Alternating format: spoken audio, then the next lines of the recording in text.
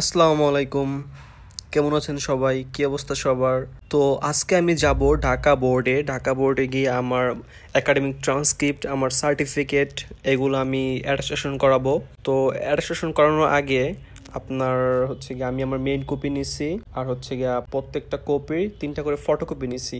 আপনি প্রিন্ট করে নিয়ে যাবেন না, আপনি অবশ্যই ফটোকপি নেবেন। কারণ প্রিন্ট করে নিলেও এটা ওরা অ্যাকসেপ্ট করে না, ওরা ফটোকপি চায় এক্সট্রা অ্যাটাস্টেশন করানোর জন্য। তো আমি তিন কপি ফটোকপি নিছি আর একটা অরিজিনাল তো মোট একটার জন্য চারটা, তো আমার চারটা চারটা ষোলোটা। তো ষোলোটা নিয়ে আমি গিয়েছি। তো আরেকটা ইনফরমেশন দিয়ে রাখি, আমি যেহেতু দুই হাজার একুশের ব্যাচ আমার এখনও কলেজে এখনও সার্টিফিকেট অ্যান্ড একাডেমিক ট্রান্সক্রিপ্ট আসে নাই। তো এই জন্য আমাকে আলাদাভাবে বোর্ডে অনলাইন অ্যাপ্লিকেশন করে তারপর এগুলো কালেক্ট করতে হয়েছে। তো আমি আমার সার্টিফিকেট আগেই কালেক্ট করছি অ্যাপ্লাই করে বাট হচ্ছে মার্কশিটটা ওয়েট করছিলাম যে কলেজ আসবে। তো কলেজ আসতে লেট হবে, এই জন্য আমি মার্কশিটটা অ্যাপ্লাই করছি তিন দিন আগে। তো আজকে আমি পেয়েছি, এই জন্য মার্কশিটটা নিব। মার্কশিটটার এস এম এস আসে আমার সকালে, তো আমি বোর্ডে গিয়ে বলি যে আমার মার্কশিটটা দেন। বলতেছে যে তুমি ওয়েট করো, দুইটার পর দেওয়া হবে। তো যে সার্টিফিকেটগুলো আর কি দেয়, তো উনি আমাকে বলল যে যেখানে প্রিন্ট হয় ওইখানে গিয়ে বলো, তো ওইখান থেকে তুমি কালেক্ট করো। ওইখানে যাওয়ার পর আমি আমার মার্কশিটটা চোখের সামনে দেখতেছি বাট আমাকে বলতেছে তুমি দুইটা পর্যন্ত ওয়েট করো। তারপর দুইটা পর্যন্ত ওয়েট করলাম, দুইটা বাজলো দেন আবার বলতেছে লাঞ্চ টাইম তো ফাইনালি আমি আমার সার্টিফিকেটটা পাইলাম। আসলে আপনি বাংলাদেশে যে কোনো সরকারি কাজ করতে গেলে আপনাকে অনেক, তাদের দ্বারা অনেক হ্যাসেল হতে হবে।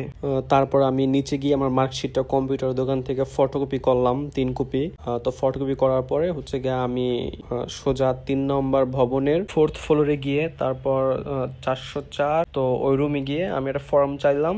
ফর্মে আমার কলেজের ইএন নাম্বার এবং আমার ফুল ইনফরমেশন নাম ফোন নাম্বার কত সালে জিএসসি এসএসসি এবং এইচএসসি পাস করছি, ওইটা দিলাম। তারপর হচ্ছে গিয়ে আমার সুন্দরভাবে আমার ফাইলগুলো গুছালাম।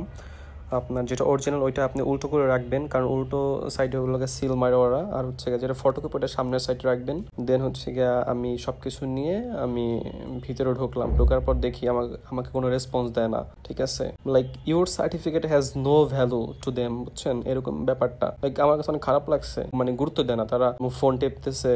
লাইক কি অবস্থা? তারপর ফাইনালি আমার জমা দিলাম। বাট জমা দিয়ে দেখি ভাই, যে আমার সার্টিফিকেটে পিন মারে। যে সার্টিফিকেট আমরা খুব যত্নে রাখি, যে সার্টিফিকেট মানে কিছু হইলেই নিজের কাছে খারাপ লাগে সেই সার্টিফিকেটে পিন মারা শুরু করে দিচ্ছে লাইক এটা দেখে তো ভালো লাগে না আমার। কিন্তু কি আর করার সবকিছু তো মেনে নেওয়ার নামেই বাংলাদেশ তাই না? তো তারপর জমা দেওয়ার সময় যেই সোনালী স্লিপটা তাদের আমি দিছিলাম তো এখান থেকে একটা অংশ তারা রাখছে আর একটা অংশ আমাকে দিয়ে দিয়েছে। বলছে যে সাত দিন পর এসে তারপর তোমার ডকুমেন্টস তুমি নিয়ে নেবে। বলল যে এই স্লিপটা নিয়ে আসবা। আমি বললাম ঠিক আছে তাহলে আমি চলে যাই। বলতেছে হ্যাঁ চলে যাও। তো তিন তারিখে যেতে বলছে। তো আমি তারপর সোজা নিচে নেমে আমি বাসা চলে আসলাম। কিন্তু খারাপ লাগছে আমার সার্টিফিকেট আমার একাডেমিক ট্রান্সক্রিপ্টগুলো যেইভাবে পিন মারলো লাইক আমি তো তখন বললাম, কি করল আল্লাহ এটা? ইভেন আপনি যখন ফরেন মিনিস্ট্রি এবং এডুকেশন মিনিস্ট্রিতে যাবেন, তখনও তারাও পিন মারবে। আপনার সার্টিফিকেট তিন জায়গায় পিন মারবে। আপনি তখন বলবেন আল্লাহ কি করতেছে? বুঝছেন? এরকম। তো এই জন্য আমার সাজেস্ট থাকবে যে, আপনি যখন অ্যাব্রুটের আপনার ভিসা হয়ে যাবে, তখন হচ্ছে গিয়ে ফ্রেশ কপি করে আপনার যেগুলো পিন মারছো, ওইগুলো আপনি তুলে এক- সেট বাসায় রেখে যাবেন। তাহলে ভালো হবে আর কি। তো আজকে ভিডিও এই পর্যন্তই। যদি বোর্ড অ্যাটাস্টেশন রিলেটেড কোনো কোয়েশ্চেন থাকে, অবশ্যই ভিডিওর কমেন্ট বক্সে করবেন, আমি অবশ্যই রিপ্লাই দেবো। তো থ্যাংক ইউ সো মাচ আমার সাথে থাকার জন্য। স্টে টিউন্ড বাই বাই আল্লাহ হাফেজ see you again excuse me excuse me যাবার আগে আপনাকে একটা টাকা সেভ করা হ্যাক শিখিয়ে যাচ্ছি। যদিও বেশি টাকা না, অল্প কয়েকটা টাকা তারপরও বলে যাচ্ছি।